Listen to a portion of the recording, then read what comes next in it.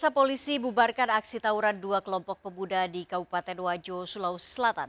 Tiga orang diduga otak aksi tawuran diamankan petugas. Tawuran dipicu rasa cemburu dan salah paham saat seorang pemuda kerap terlihat membawa wanita masuk ke kamar kosnya.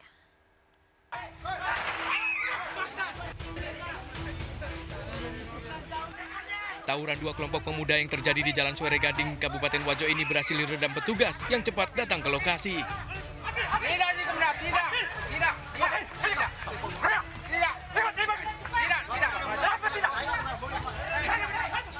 Tawuran diduga dipicu dari rasa cemburu dan salah paham saat seorang pemuda kerap terlihat membawa wanita masuk ke kamar kosnya. Tiga orang dari kedua kelompok diduga otak aksi tawuran ini diamankan petugas. Penangkapan pelaku ini sempat jadi tontonan warga. di mana terjadi tawuran antar dua kelompok yang mana diawali adanya kesalahpahaman di antara mereka sehingga terjadi percekcokan dan terjadilah sempat ada adu fisik di antara mereka dan kami dari pihak kepolisian sudah mengamankan eh, tiga tersangka Polisi masih menyelidiki kasus ini dengan memeriksa ketiga orang tersangka. Dari Kabupaten Wajo, Sulawesi Selatan, Amnar Sengkang, iNews melaporkan. Pemirsa seorang pria di Jember diamuk warga setelah kepergok mencuri pakaian dalam wanita. Pelaku mengambil pakaian dalam yang dijemur saat warga telah tertidur. Pelaku ternyata telah berulang kali mencuri pakaian dalam. Sasak menangis setelah diamuk masa usai kepergok mencuri pakaian dalam wanita di desa Kencong, Jember. Warga marah karena kasus pencurian pakaian dalam di desa Kencong sudah berulang kali terjadi. Sasak pun mengakui telah melakukan pencurian pakaian dalam di desa Kencong. Sasak sengaja mendatangi kawasan permukiman pada malam hari menggunakan sepeda motor dan mengambil berbagai pakaian dalam yang dijemur warga. Sasak tertangkap setelah pemilik rumah memergoki aksinya dan berteriak sehingga mengundang perhatian warga. terus mau ambil katok terus saya bangunin suami saya setelah itu suami saya buka buka pintu langsung dihajar sudah sama masa sama warga pakaian dalam. Kalau saya tiga kali tiga hampir tiga kali Pak anu tadi malam. Kalau kakak saya sudah empat kali. Terus di sebelah selatan itu juga sering. Nah kelihatan ya anak itu. Sepedanya ya Shogun biru itu. Untuk menghindari amukan warga, aparat desa membawa Sasak ke kantor polisi termasuk sepeda motor yang dikendarai serta pakaian dalam yang dicuri. Sasak masih menjalani pemeriksaan di Polsek Kencong untuk mengungkap motif pencurian pakaian dalam. Dari Jember, Jawa Timur, Bambang Sugiarto, iNews melaporkan. Pemirsa seorang wanita di Depok, Jawa Barat menjadi korban kekerasan seksual di jalanan. Pelaku mengendarai sepeda motor dan mencari sasaran wanita yang berjalan kaki. Aksi pelaku terekam CCTV.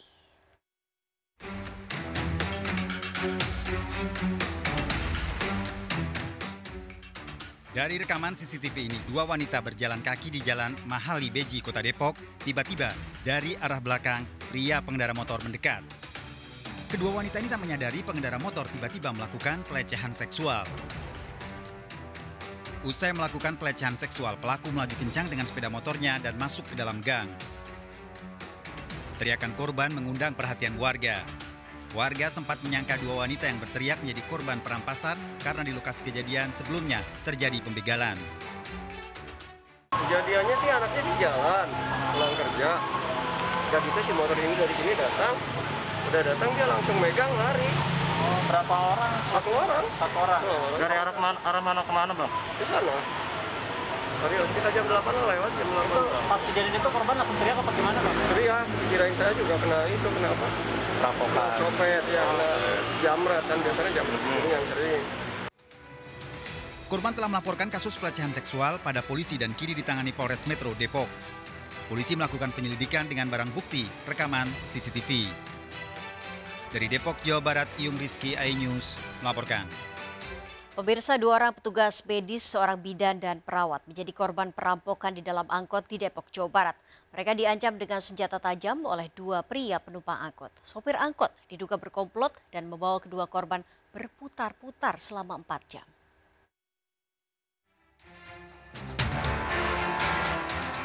Seorang bidan dan rekannya seorang perawat menjadi korban perampokan di dalam angkot jurusan Kampung Rambutan Citerep sepulang kerja. Saat mereka naik angkot, ada dua orang pria di dalam angkot. Ketika korban hendak turun, kedua pria menarik dan mengancamnya dengan senjata tajam. Kedua korban sempat dianiaya dan dilecehkan sebelum diminta menyerahkan seluruh barang berharganya. kita tengkurap di bawah itu terus di apa ditutup pakai kain jadi kita nggak tahu kita dibawa ke mana dalam kondisi kita juga pakai masker itu saya udah apa setiap saya gerak kita dipukul di ini sih di kayak di situ gitu sama kalau kaki kita gerak juga kita kayak ditendang gitu Supir angkot diduga ikut berkomplot. Setelah berputar-putar selama 4 jam, korban dan rekannya diturunkan di kawasan Mayor Oking, Kabupaten Bogor. Kedua pelaku mengenakan masker. Menurut korban, satu pelaku berperawakan besar dan seorang lainnya kurus dan sudah berumur. Korban telah melaporkan kasus ini ke Polsek Cimanggis. Dari Depok, Jawa Barat, Iyung Rizky, iNews melaporkan. Pemirsa polisi menggelar rekonstruksi kasus pembunuhan dua anak oleh ayah tiri mereka. Pelaku peragakan 17 adegan dan memperkuat dugaan polisi atas motif pembunuhan. Pelaku tersinggung atas ucapan korban ketika tidak dituruti saat minta es krim.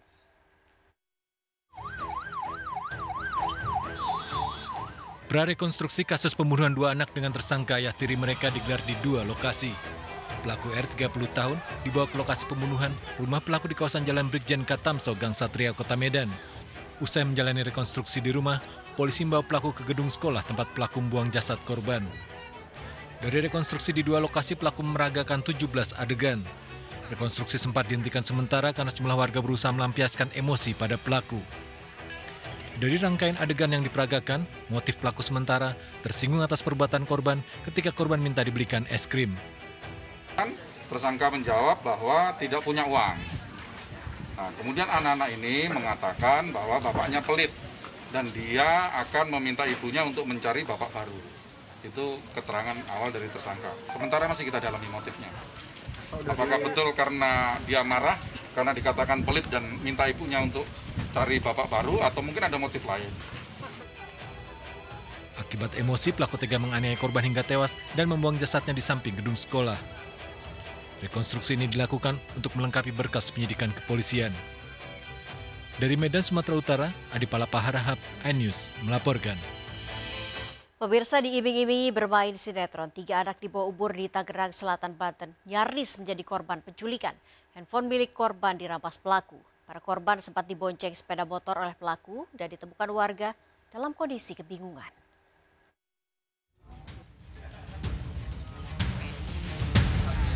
Tiga remaja ini ditemukan tetangganya dalam kondisi bingung di kawasan Villa Dago, Tangerang Selatan. Dua handphone remaja ini hilang setelah diajak pergi oleh seorang pria yang mengajak syuting sebuah sinetron melalui video call. Pelaku mengaku sebagai kru pembuatan sinetron yang mencari pemain remaja. Ketiganya bertemu pelaku usai olahraga dan dibonceng dengan sepeda motor, namun pelaku meminta korban menitipkan handphone yang dibawa. Pelaku juga menjanjikan uang sebagai imbalan untuk ikut bermain sinetron. Dikasih uang sebesar 150 ribu. Nah terus anak saya sama temannya itu ya ikut naik motor diempatin tuh yang kecil tuh ditaruh di depan. Saya nengok, pas anak saya jalan terus nengok ke arah belakang, nah temennya sama si penculik itu udah nggak ada. Nah, satu HP anak saya sama satu HP temennya. Meski kehilangan handphone, keluarga tidak melapor ke polisi karena ketiga korban ditemukan. Dari Tangerang Selatan, Banten, Nunung Purnomo, iNews melaporkan. Pemirsa seorang bocah yang sedang bermain di dekat rumahnya tiba-tiba saja terluka di bagian punggung hingga berlubang. Setelah dirujuk rumah sakit diketahui luka tersebut diduga akibat peluru nyasar. Operasi pengangkatan proyektil peluru dilakukan di Rumah Sakit Polri Keramat Jati.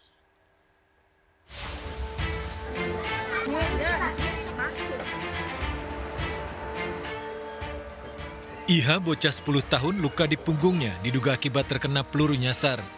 Iha telah menjalani operasi pengangkatan proyektil peluru di Rumah Sakit Polri Keramat Jati, Jakarta Timur. Peristiwa itu terjadi tak jauh dari rumah tinggalnya di Gang Tongkol, Pademangan, Jakarta Utara.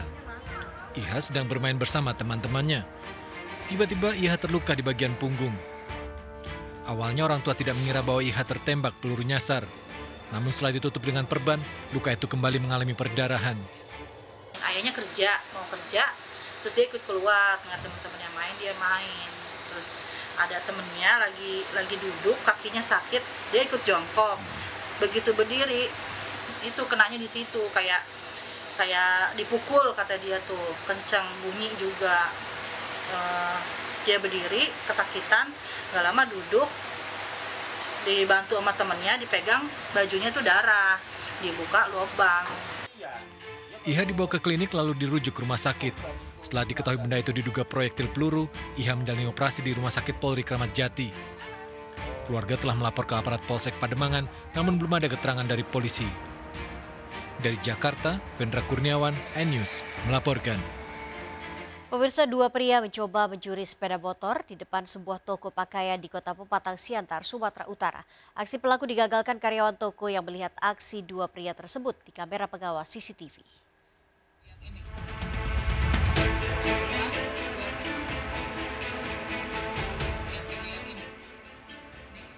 Dua pria dengan sepeda motor telah cukup lama mengintai sepeda motor sasaran. Saat situasi dirasa mendukung, salah satu pelaku langsung beraksi membobol kunci sepeda motor. Namun beruntung aksi pencurian dipergoki seorang karyawan toko. Karyawan toko langsung mengejar keluar hingga pelaku lari tunggang langgang bersama rekannya. Pencurian ini terjadi di sebuah toko pakaian di Jalan Komando Kota Pematang Siantar, Sumatera Utara. Sepeda motor yang hendak dicuri milik seorang pelanggan toko. Karyawan toko yang mergoki pelaku sontak berlari keluar. Kira anak kos kami. Oh gitu. Nah, rupanya ah, biar aja lah pikirku gitu kan. Terus tiba-tiba tertengok aku kayak gitu dia bangun. Hmm. Nah, spontan aku langsung lari lah keluar gitu. Kakak lempar pakai apa itu kak saat itu?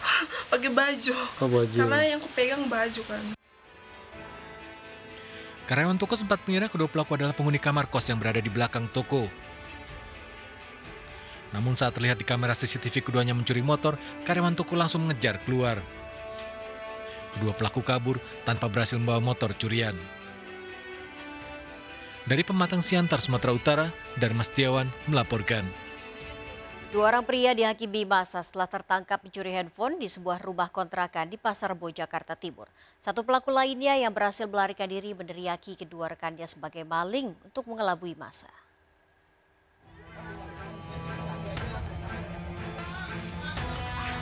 Warga mengerumuni dan berusaha menghakimi dua pelaku pencurian yang tertangkap di kawasan Kalisari, Pasar Rebo, Jakarta Timur.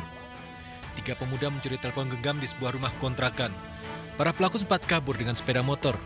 Dua orang berhasil ditangkap warga tak jauh dari lokasi kejadian. Sementara seorang pelaku lainnya berhasil kabur. Untuk mengelabui warga, pelaku yang melarikan diri sempat meneriaki kedua rekannya maling. Begitu kabar ada dua motor, tiga orang. Itu terus saya kebetulan saya ada di pos ini, ya saya menghalang-halangi juga kan. Karena saya sama batu dia nggak berhenti, dia kabur. Teman saya juga sempat nendang, nggak jatuh. Akhirnya dia kabur terus. Saya kejar, saya teriak maling. Dua pelaku pencurian yang tertangkap diamankan di pos pangkalan ojek. Keduanya kemudian dibawa warga ke kantor polisi terdekat. Dari Jakarta, Rio Manik, News melaporkan. Pemirsa seorang buruh tani kelapa sawit tewas dibunuh komplotan perampok dengan senjata api di Tulang Bawang, Lampung. Komplotan perampok mendatangi pekerja yang sedang beristirahat dan merampas sepeda motor serta berbagai barang berharga. Puluhan polisi terlibat penangkapan empat perampok yang dikenal sadis ini.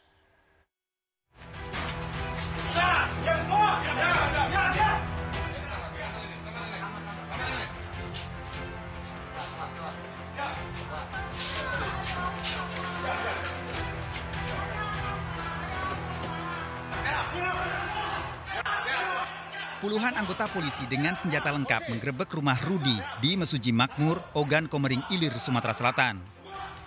Rudi salah satu anggota komplotan perampok yang membunuh seorang buruh tani di perkebunan sawit Tiuh, Gunung Terang, Tulang Bawang Barat, Lampung, pertengahan Mei lalu.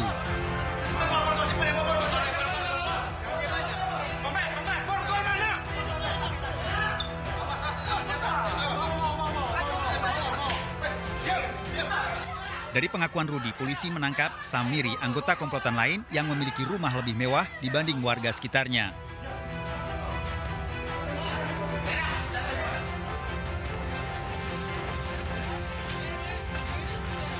Polisi melakukan penangkapan hingga siang hari dari komplotan rampok yang dikenal sadis setiap beraksi.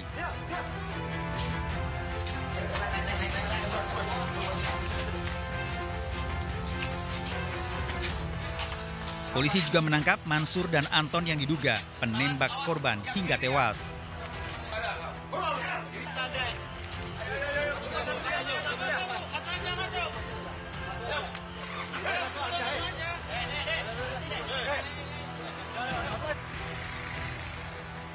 Dalam pemeriksaan di kantor polisi, empat perampok mengakui melakukan perampasan saat melihat empat penjaga kebun sawit beristirahat di malam hari.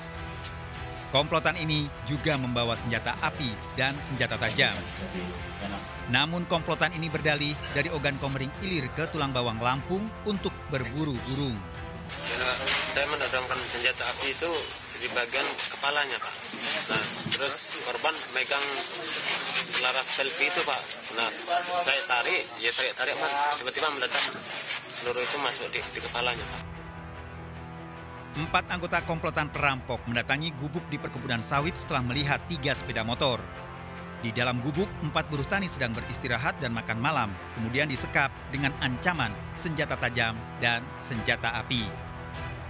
Usai menembak salah satu buruh tani, para perampok kabur membawa tiga sepeda motor, uang Rp500.000 dan tiga handphone milik para korban. Identitas komplotan perampok diketahui dari pemeriksaan para saksi yaitu tiga korban perampokan yang mendengar logat bahasa Ogan Komering Ilir saat dilakukan penyekapan. Penangkapan kita mengerahkan kekuatan penuh 60 personil itu untuk melakukan penangkapan karena ya mengingat daerahnya secara geografis maupun secara kerawanan kriminal cukup tinggi. Selain empat perampok, polisi menangkap dua penada hasil rampasan serta pemilik senjata api. Polisi mengamankan barang bukti, handphone, STNK motor hasil merampok milik para korban, senjata angin, serta senjata api rakitan.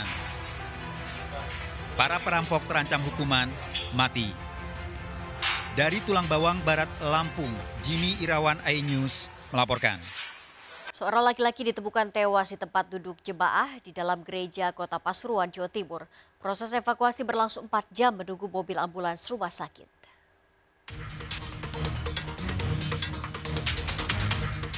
Warga digemparkan dengan tewasnya seorang pria yang tergeletak di kursi dalam sebuah gereja di Jalan Anjasmara, Kelurahan Bugul, Pasuruan, Jawa Timur.